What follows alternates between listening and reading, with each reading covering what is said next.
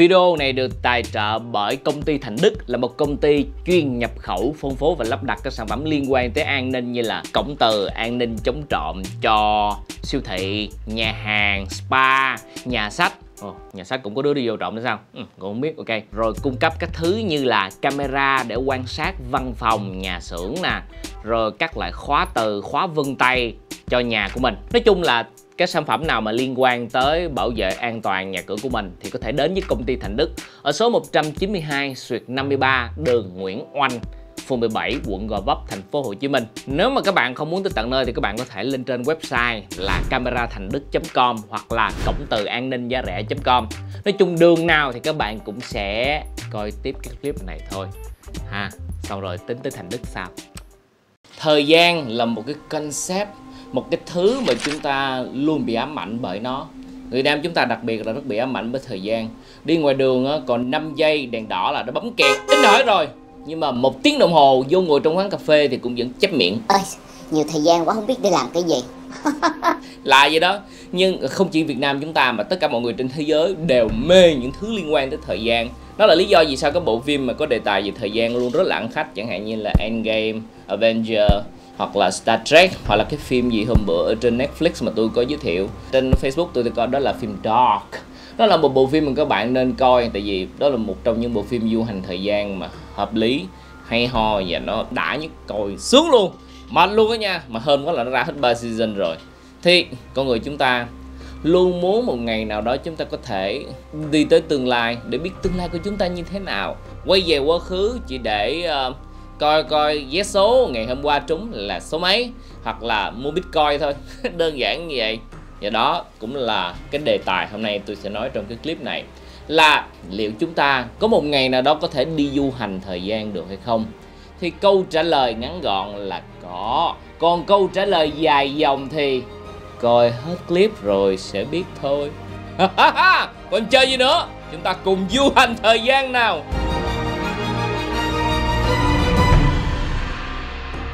Đầu tiên chúng ta cần phải hiểu một điều là chúng ta vẫn đang du hành vào tương lai đó mấy bạn.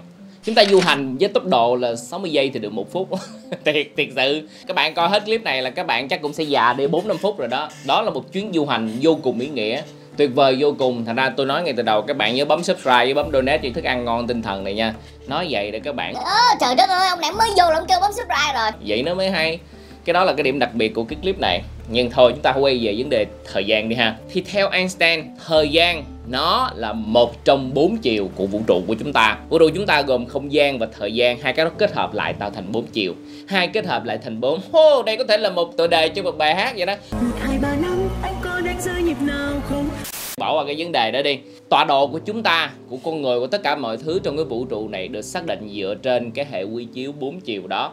Dài, cao và chiều không gian thì chiều không gian là cái chiều duy nhất đi theo cái chiều tiến về phía trước, chứ nó không có đi về chiều ngược lại. Cho nên theo như Einstein thì chúng ta sẽ không thể nào quay về quá khứ được. Nhưng từ từ, lát nữa tôi sẽ nói về vấn đề đó, tại vì câu trả lời nó vẫn là có thể có đó. Nhưng mà đầu tiên, chúng ta sẽ nói về đi du hành vào tương lai. Cũng theo Einstein luôn, thời gian nó có tính tương đối. Có nghĩa là nếu mà một vật nào đó mà nó đi quá nhanh so với một vật còn lại thì thời gian của cái vật đó nó sẽ trôi chậm hơn so với cái vật đang đứng yên. À ha và khi mà cái tốc độ đi nhanh đó, nó nhanh kinh khủng tới mức mà có tốc độ ánh sáng luôn á. Thì cái thời gian giữa trên lệch giữa hai cái vật thể đó, vật đứng yên và vật đang di chuyển, nó sẽ còn khác nhau rất là nhiều đó là chưa kể của cái chuyện mà trọng lực tác động về thời gian nữa. Tại vì trọng lực nó có thể tác động vô ánh sáng, nó tác động vô không thời gian, nó bẻ cong đủ thứ hết. Nhưng mà từ từ, chúng ta sẽ không thể đi sâu vô cái vấn đề đó. Tại nếu đi vô cái vấn đề đó là nguyên cái clip này hả? Tôi tôi biến thành thầy giáo về vật lý luôn á, mà thậm chí là cái clip này nó rất là dài. Cho nên chỉ tập trung vào thời gian thôi. Chính từ cái mà tôi vừa mới nói đó, chúng ta đã có câu trả lời cho cái câu hỏi đầu tiên. Đó là có thể đi du hành vào tương lai được hay không? Thì câu trả lời là có với các điều kiện sau đây. Điều kiện đầu tiên đó là chúng ta phải đi được với vận tốc gần bằng tốc độ ánh sáng hoặc là bằng với tốc độ ánh sáng. Hai cái đó thôi là mà chứ đừng có nói cái chuyện mà nhanh hơn tốc độ ánh sáng nha. Thì khi chúng ta leo lên một con tàu phi thuyền vũ trụ với tốc độ ánh sáng thì thời gian của chúng ta sẽ trôi qua chậm hơn rất nhiều so với những người ở trên trái đất. Nó chậm cỡ nào? Đây là một ví dụ ở trên mạng tôi sẽ lấy ra cho các bạn. Đó là giả sử chúng ta leo lên một con tàu vũ trụ có vận tốc bằng với 99,99% vận tốc ánh sáng. Chúng ta đi tới một ngôi sao cách trái đất 40 năm ánh sáng. Thì chúng ta đi một năm xong rồi quay về lại.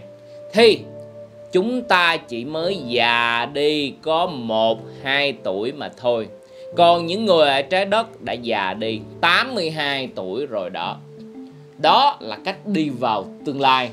Đi chỉ có 2 năm thôi mà đi thẳng một phát tới 82 năm sau thì đúng là đi vào tương lai, đúng không? Nhưng ai rảnh trời đất, quỷ thật ơi, tôi đi một phát tôi muốn quay về đúng với cái thời gian của tôi, chứ tôi đâu có muốn sống như là cái anh gì trong cái chuyện mà đi thăm vua thủy tề xong quay lại thấy bà con dòng họ chết hết, đã vậy còn chơi ác nữa gửi theo hộp quà, nhắn nhủ nhỏ nhỏ, anh về mà anh thấy buồn á mở hộp quà này ra tự nhiên hết buồn à anh ơi. Cái ta mở ra một phát nó làm cho khói bốc lên mà không phải là khói khói cần nữa chứ hốc lên cái hút vô cái cái nhà càng khu đế cái chụp chết ngắt luôn. Ha, đúng là đám này mất dạy cho đi chơi chuyến mà về nhà mất mạng mất luôn cái gia đình dòng họ người thân. Má du hành thời gian của đó tôi không cần tôi không cần ok? Tôi cần cần. Chơi, chơi như tao có một lá tôi cần cần. Yeah. Lá màu xanh vậy thì nó vui hơn.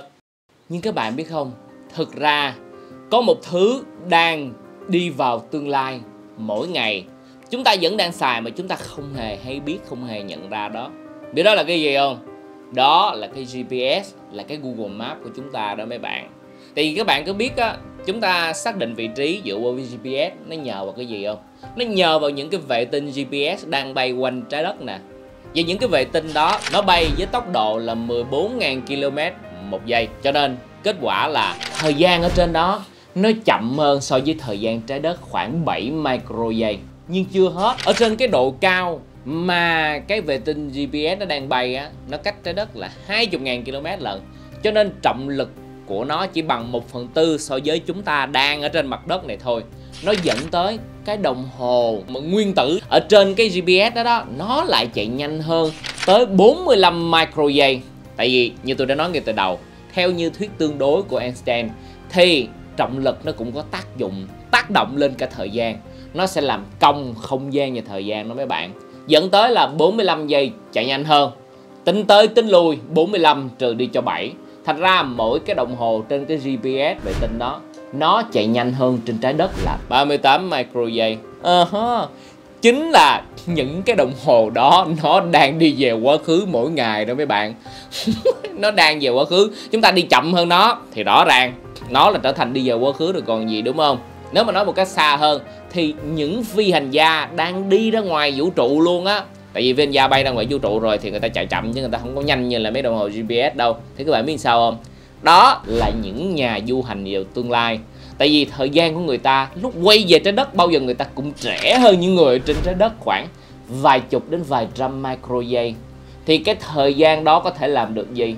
Chắc chắn là dùng để bấm subscribe donate cho anh Dưa Leo. Vì những cái ảnh vừa mới nói các bạn không thể nào kiếm ở đâu khác. Không thật ra các bạn cũng có thể kiếm được trên internet nhưng để giải thích một cách đơn giản hấp dẫn và dễ hiểu như vậy thì ai ai nên còn chơi gì nữa? Donate đi nào. Venmo, Paypal, Paypal dễ lắm như leo nè cùng gmail.com không dùng patreon.com thì như leo nè đi tuyệt vời vui vẻ lắm. Mỗi tháng nó có thể donate cho tôi đến đỡ mất công.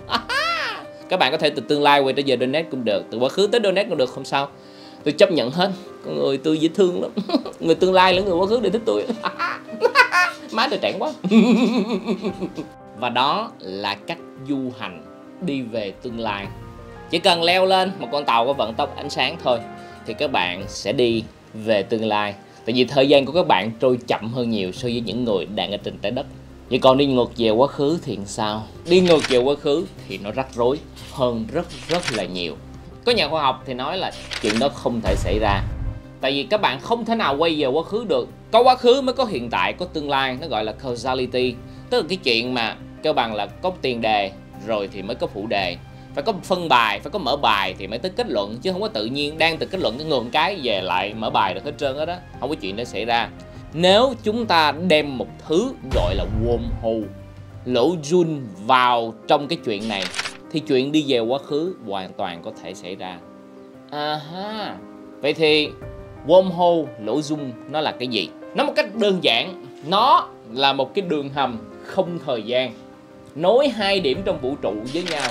Hai điểm đó có thể gần nhau hoặc là cực xa nhau, nhưng mà thường là người ta nói là nó cực xa nhau thì nó ok hơn. Chứ hết chuyện mà cái lỗ dung mà chỉ có cách nhau được, có một cái cánh tay thôi, vậy làm lỗ dung làm gì, đúng không? Cái wormhole này nó được tạo ra bởi hai cái đầu một đầu là lỗ đen còn một đầu là lỗ trắng. Và ở giữa là một đường hầm không gian thời gian.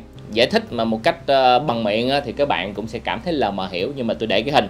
Uh, gà không này em bỏ cái hình vô nha để cho người ta thấy cho nó dễ. Thì cái hình này nhìn vô các bạn sẽ thấy nếu đi bình thường chúng ta sẽ đi theo cái đường quấn theo vòng vòng đó. Nhưng nếu đi bằng wormhole chúng ta sẽ đi từ A tới B một cách đơn giản và ngắn nhất bằng cách giống như là bẻ cong không gian và thời gian vậy. Và nếu mà các bạn coi tới đây và các bạn nào đã từng coi Doraemon tập hành tinh tím, các bạn sẽ nhận thấy đây chính là bước nhảy alpha đó. Gặp đôi vũ trụ lại. Điểm A và B lúc này là sẽ gần nhau nhất. Đó chính là cái wormhole. Công nhận truyện Doraemon hay. Từ hồi mình còn nhỏ mà nó giải thích wormhole một cách đơn giản vô cùng, thành nói thiệt wormhole gì. Cứ nói bước nhảy alpha đây là tự động hiểu rồi. Đúng không? Wormhole. Theo như cách giải thích của tôi vừa rồi á thì nó chỉ đơn giản là ok bạn đi từ A tới B ngắn gọn đơn giản vậy thôi. Vậy thì nó liên quan gì tới chuyện đi về quá khứ nè. À, đó là cái tôi chuẩn bị nói đó mấy bạn. Đừng quên là clip này được tài trợ bởi công ty Thành Đức là một công ty chuyên nhập khẩu phân phối và lắp đặt các sản phẩm về an ninh như là cổng từ an ninh chống trộm cho cửa hàng, siêu thị, rồi nhà sách nữa nha hay chỗ đó đó. Và camera để quan sát nhà xưởng, văn phòng và khóa vân tay cũng để chống trộm cho nhà mình luôn. Nói chung nếu các bạn trong lúc đang coi clip của tôi chăm chú mà các bạn biết ở ngoài có người lo cho an ninh của các bạn rồi, thì các bạn sẽ cảm thấy thoải mái tới nhường nào, đúng không? Công ty thành đức, các bạn có thể tới số 192 sự 53 đường Nguyễn Oanh, quận Gò Vấp, phường 17 thành phố Hồ Chí Minh, hoặc là các bạn lên trên website camera thành đức.com hoặc là cổng từ an ninh giá rẻ.com cũng được. Đường nào cũng tới La Mã hết. Rồi, coi clip tiếp đi nhưng mà bây giờ các bạn nhớ coi lại cái clip một tòa án công bằng là như thế nào. Bởi vì cái chuyện mà luật pháp công bằng ở trong hiện tại nó nhiều khi nó quan trọng hơn cái chuyện là mình quay trở về quá khứ để thay đổi quá khứ đó mấy bạn. Thiệt á, các bạn coi lại clip đó đi, hay lắm tôi quảng cáo rất là hay mà, đúng không? Còn bây giờ thì chúng ta hãy quay lại về vấn đề, quay về quá khứ bằng wormhole, nó như thế nào, cách hoạt động ra sao? Vô cùng đơn giản. Bạn chỉ cần kết hợp wormhole, lỗ dung với lại việc du hành theo vận tốc ánh sáng. BOOM quay về quá khứ cái một luôn. Vô cùng dễ hiểu đơn giản. Đúng không nè? Đúng con khỉ khô. Anh Leo ơi Tụi em không hiểu gì hết Tụi em mới coi clip của anh. Anh coi clip của anh Anh vô nói cái này dễ hiểu Cái này đơn giản Anh bỏ qua hết rồi Cuối cùng gì tụi em coi clip của anh để làm cái gì? Anh đừng có cái kiểu như vậy nghe chưa? Anh giải thích một cách rõ ràng rành mạch đi. Nên nhớ anh không phải là ông thầy dạy lý Hiểu không? Đừng có chơi cái màn mà chết không bê cho tụi em ha. Các bạn đừng có như nước sôi đổ hơi hán Để tôi giải thích như vậy nè. Các bạn có còn nhớ là dọc cái thí dụ mà lúc cái chuyện mà đi du hành về tương lai, chúng ta leo lên một con tàu có vận tốc ánh sáng, đi tới một hành tinh cách đây 40 năm ánh sáng, thì không sau khi đi một năm và quay về một năm, thì người trên trái đất của chúng ta đã trôi qua là 82 năm hơn mấy bạn? Đó là du hành về chiều tương lai bằng một con tàu có vận tốc ánh sáng. Chúng ta đi về quá khứ, chúng ta lại kết hợp cái chuyện du hành ngang với vận tốc ánh sáng và cái chuyện là wormhole, thì nó là như thế nào? Đây, để tôi giải thích cho các bạn. Nếu chúng ta tạo được một cái cặp wormhole và bỏ một đầu lên trên con tàu có vận tốc ánh sáng đó, chuyện gì sẽ xảy ra? Lúc đó, khi con tàu đó đi được một năm trong vũ trụ, nó sẽ tương ứng với 40 năm ở trên trái đất. Các bạn có hiểu không? Khoảng cách thời gian nó lại trở thành 40 năm. Có nghĩa là khi chúng ta đi vào cái đầu wormhole ở trên con tàu đang đi với vận tốc ánh sáng đó, chỉ sau một năm thôi, lúc chúng ta đi vô đó thì chúng ta thực sự là đang quay về quá khứ cách đó 40 năm. Có nghĩa là nếu mà năm 2020 bạn leo lên được một con tàu đang di chuyển với vận tốc ánh sáng, có một đầu là wormhole ở trên con tàu đó, và một đầu còn lại nằm ở trái đất, thì khi các bạn đi vào trong cái đầu đó, các bạn đi ra cái đầu kia ở trên trái đất, thì trái đất mới chỉ là năm 1980 mà thôi đó là cái chuyện quay trở về quá khứ đó mấy bạn. Lý thuyết, chuyện quay về quá khứ hoàn toàn có thể thực hiện được. Nếu chúng ta kết hợp wormhole và chuyện du hành bằng với vận tốc ánh sáng, đơn giản, vô cùng, đúng không? Và đó cũng chính là cái chuyện không đơn giản.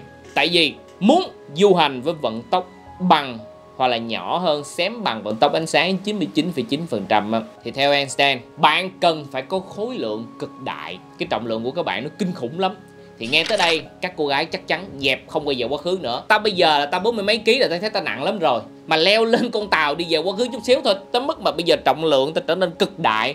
Dẹp khỏi hiện tại được rồi, tương lai được rồi, quá khứ, bỏ đi ha. Ok, chưa hết. Muốn đi với vận tốc ánh sáng. Ngoài trọng lượng cực đại ra, các bạn cần phải có chiều dài bằng không nữa. Nghe tới đây mấy anh con trai cũng dẹp luôn. Thôi, khỏi. Cái gì mà chiều dài bằng không? Tôi bình thường chiều dài là tôi đã muốn nó dài thêm rồi. Bây giờ chiều dài bằng không? Dẹp. Khỏi. Hiện tại được rồi. Có nhiêu xài nhiêu đi ha. Đó là mới chỉ về cái chuyện mà về trọng lượng và chiều dài thôi. Còn cái chuyện mà năng lượng để mà các bạn có thể đi được với vận tốc ánh sáng cái năng lượng đó nó cực kỳ kinh khủng. Năng lượng đó có thể nói là toàn bộ năng lượng của người đã tạo ra trong suốt uh, cái hành trình của loài người sinh sống trên trái đất này. Vẫn chưa đủ để bằng một phần móng tay hoặc là một cái miếng nhét kẻ răng của cái năng lượng để mà cho con tàu đó nó bay được khoảng 2 mm nữa đó mấy bạn. It's over 9,000! kinh khủng lắm không có chuyện đó xảy ra đâu. Đó là chưa kể bây giờ tới cái chuyện mà wormhole nè. Bản chất của cái wormhole á nó là một sự kết hợp giữa một lỗ đen và một lỗ trắng. Ở giữa là có một cái đường hầm không thời gian. Muốn tạo ra được cái đó đó thì đòi hỏi các nhà khoa học chúng ta phải tạo ra được lỗ đen và tạo ra được lỗ trắng. Nhưng mà tới bây giờ lỗ trắng hình như cũng chưa ai có chứng minh được cái chuyện nó có tồn tại nữa. Còn những cái lỗ Joule wormhole thực sự lý thuyết là nó có tồn tại. Nhưng cái sự tồn tại của nó trong thực tế á, nó rất là nhỏ. Cái kích thước của nó chỉ khoảng 10 mũ âm 33 cm tính ra là nó nhỏ bằng một phần tỷ tỷ tỷ của một cái electron đó mấy bạn. Tức là nó rất nhỏ luôn. Người ta chỉ có thể biết tới sự tồn tại của những cái wormhole là trên lý thuyết thôi. Tính toán là nó có ra. Nhưng mà ở thực tế thì chưa có ai từng tạo ra được một cái wormhole nào hết. Cũng như là có bằng chứng cho thấy à đây nó có wormhole. Người ta chỉ có biết trên lý thuyết thôi. Và sau khi người ta tính toán ở trên lý thuyết xong thì người ta nói muốn một cái wormhole nó đủ rộng ra, để banh rộng ra được một cái wormhole á, để mà tới mức mà con người chúng ta có thể đi qua đó lọt á. Rồi leo lên một, trên một cái con tàu mà chứa đựng cái wormhole đó, thì nó cần phải có một thứ nữa, đó là vật chất lạ. Cái vật chất lạ này nó không phải là vật chất tối, không phải là dark matter nha. Nó cũng không phải là antimatter, đó là phản vật chất. Không, mà nó là một loại vật chất có cái năng lượng âm với áp suất âm chính cái loại vật chất lạ này, nó mới có khả năng giúp cho cái đường hầm không thời gian của cái wormhole đó, nó trở nên vững chãi để cho chúng ta có thể đi xuyên qua được. Nhưng là một vấn đề nữa, là vật chất lạ cũng chỉ mới xuất hiện ở trên lý thuyết thôi. Tức là dựa trên những cái phép tắc, phép tính, phép toán của những cái nhà thiên tài về toán học, về lý học, về vật lý học. Người ta biết là nó có tồn tại, nhưng người ta vẫn chưa kiếm ra được nó. Tóm lại là cái chuyện tạo ra cái wormhole nó đã khó rồi. Làm cho cái wormhole nó có thể rộng ra cái mức mà con người có thể chui qua. Nó cũng khó luôn. Đó là chưa kể. Cái chuyện thứ ba, đó là khi chúng ta là những người thuộc thế giới này. Nói nghĩ như cái thế giới bên kia vậy đó. Khi chúng ta đi qua cái đường hầm wormhole tạo ra, chính cái sự xuất hiện của loại vật chất bình thường như chúng ta, nó sẽ dẫn đến sự bất ổn của cái wormhole và nó có thể sụp đổ cái wormhole bất cứ lúc nào thành ra có rất là nhiều rào cản trong cái chuyện đi ngược thời gian. Đầu tiên các bạn phải có một chiếc phi thuyền có thể đi với vận tốc ánh sáng. Đó là những cái loại mà năng lượng, rồi trọng lực, rồi tùm lum tà la tà le là nãy giờ mới nói rồi đó. Sau đó các bạn cần phải tạo ra được wormhole, và wormhole đủ bự, đủ cái lượng vật chất lạ, thậm chí là đủ tới mức mà vật chất bình thường chúng ta đi qua nó mà không bị suy xuyển làm sụp đổ cái wormhole, thì chúng ta lúc đó mới có thể đi về quá khứ. Và quá khứ chỉ có thể tính vào cái thời điểm chúng ta bắt đầu tạo ra cái wormhole đó thôi, chứ không thể đi về quá khứ ngược về phía trước nữa được đâu. Vấn đề nó nằm ở chỗ đó nữa. Cho nên, theo các nhà khoa học, trên lý thuyết chúng ta có thể đi ngược về quá khứ được. Nhưng trên thực tế thì hiện tại hoàn toàn không thể đi về quá khứ được. Với trình độ khoa học kỹ thuật của hiện tại, đi du hành về thời gian, đi du hành về tương lai hay là đi du hành về quá khứ đều không thể được với những gì chúng ta đang có ở hiện tại. Đó là câu trả lời của cái clip này. Nhưng ở trong tương lai thì chưa chắc là nghe chưa. Có nhiều thứ chúng ta không thể nghĩ là trong tương lai nó đã có, đúng không? Chẳng hạn như, hồi tôi còn nhỏ, tôi sinh vào năm 1982 lần đầu tiên tôi thấy cái game mà chơi trên cái máy NES máy bốn nút á, đối với tôi nó là một thứ gì kinh khủng lắm. Còn bây giờ game nó đã biến thành tới mức mà giống như là phim rồi đó. Kinh khủng chỉ trong một đời người thôi mà nó đã có thể tiến triển tới như vậy. Còn mấy đời người nữa thì sao? Đúng không? Nếu mà bạn nào mà đã từng coi cái phim mà Star Trek thì chắc các bạn cũng biết Star Trek hồi xưa nó là một phim truyền hình ở bên Mỹ chiếu vào những năm 70 và cái phim Star Trek này nó tạo thành một cái hiệu ứng gọi là hiệu ứng Star Trek Generation. Nó tạo nên một cái thế hệ những đứa trẻ đã từng coi phim Star Trek khi mình còn nhỏ. Và lúc nó lớn lên, nó tạo ra những thứ, những cái loại công nghệ mà nó đã từng thấy hồi nhỏ khi coi những bộ phim khoa học viễn tưởng. Hay vậy đó, cái thứ như chúng ta đang có bây giờ, chẳng hạn như là mấy cái à, watch nè, mấy cái smart watch nè, rồi những cái tablet như là ipad hay là gì đó, cái như là bluetooth hoặc là những cái usb rồi những cái điểm mềm, cánh cửa tự động mở ra, mở vô nữa mấy bạn. Đó là những thứ đã từng xuất hiện trong phim khoa học giả tưởng, và nó đã được biến thành hiện thực bởi những người đã từng coi những bộ phim khoa học giả tưởng đó khi còn nhỏ. Tại vì lớn lên, người ta muốn sống trong một cái xã hội có những thứ mà người ta đã từng coi khi còn nhỏ đó. Và các bạn biết không, cái mà tôi đang làm mỗi ngày ở trên cái giờ kênh youtube của tôi thông qua những cái clip kiến thức, lịch sử, tâm lý học này nọ. Đó là tôi đang hy vọng tạo ra một cái hiệu ứng tương tự như Star Trek Generation, nhưng theo một kiểu ngược lại.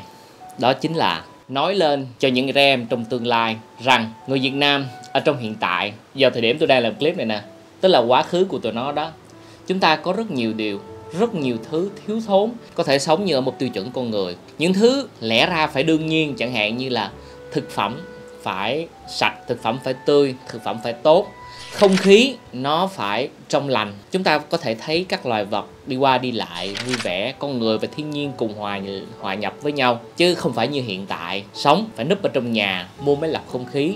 Đồ ăn thì cứ mỗi lần thấy có một loại đồ ăn nào đó đang bị gây ung thư là phải bỏ nó. Còn cái chuyện mà thú vật thì chúng ta chỉ có thể thấy trên bàn nhậu, chứ không thể tận mắt, tận tai rờ như là những trẻ em ở nước ngoài được. Tôi đang làm những cái clip như vậy để cho tương lai thấy rằng hồi ông bà của chúng ta đang sống trong một cái xã hội nó thiếu thốn tới như thế nào để cho tụi nhỏ có thể nhìn thấy và đòi hỏi những thứ lẽ ra tụi nó phải được hưởng.